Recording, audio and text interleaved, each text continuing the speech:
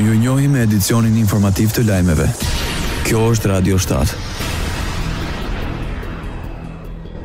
Komisioni Europian dërgon Hungarinë në gjykatën e drejtësisë pasi vlerëson se ligji i saj kombëtar për mbrojtjen e sovranitetit shkel ligjin e Bashkimit Europian. Ky ligj synon të luftojë ndikimin e huaj.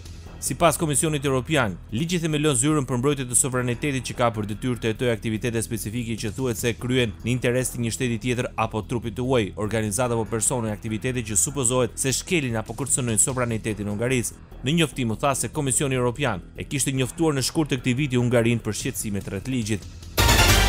Ushtria ukrainase konfirmoi se është tërhequr nga qyteti Vuhledar në lindje të vendit. Komanda e lartë dha leje për tërheqjen e njësive, në mënyrë që t'i ruajnë personelin dhe pajisjet ushtarake dhe për të marrë pozicion për veprime të mëtejshme, tha formacioni i Forcave Tokësore të Ukrainës, i cili komandon rajonet lindore duke përfshirë Donjetskun. Forcat ruse kryen sulme të pareshtura përreth qytetit për ta shkatërruar mbrojtjen ukrainase duke kërcënuar rrethimin e qytetit, tha komanda. Trupat e Moskës, më të mëdha në numër dhe pajisje, kanë ecur përpara ngadalë në Ukrainën lindore pavarësisht humbjeve të mëdha, ndërkohë që Ukraina u ka kërkuar vazhdimisht aleatëve për t'i dhënë armë më të përparuara dhe për të lejuar që t'i godasë shënjestrat ushtarake më thellë brenda Rusisë.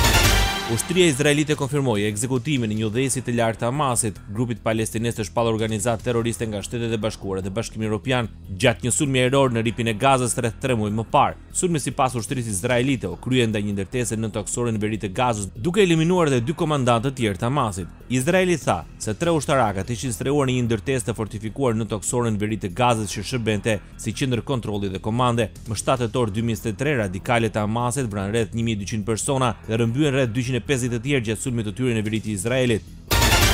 Forcat ajrore izraelite kryen sulme të tjera në bastionet e Hezbullahut deri në qendër të Bejrutit. Operacioni i ndërmarrë gjatë natës shkatërroi një ndërtesë që sipas burimeve libaneze ishte një qendër ndihme e Hezbullahut. Nga ana tjetër, organizata terroriste Hezbullah rinisi sfidën duke deklaruar se është gati të zbrapsë trupat e Izraelit. Ndërkohë udhëheqësi suprem iranian, Ali Khamenei, e kishte paralajmëruar Hassan Nasrallah të ikte nga Libani disa ditë përpara se ish-udhëheqësi i Hezbullahut të vritej. nga një sulm izraelit në Bejrut, kanë thënë zyrtarë të Teheranit të cituar nga agjencia britanike e lajmeve Reuters.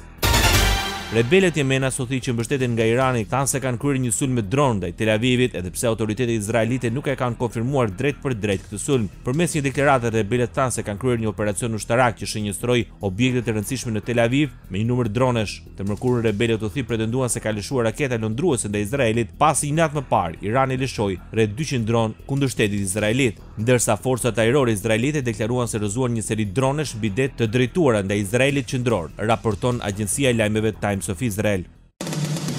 Ndoqët lajmet shkurt në Radio shtatë, zëri pozitiv i qytetit.